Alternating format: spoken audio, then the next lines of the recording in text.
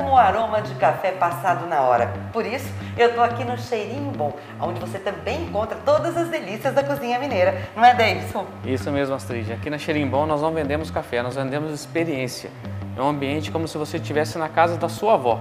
Venha conhecer os nossos cafés. São cafés maravilhosos, melhores cafés do mundo. Isso é Cheirinho Bom.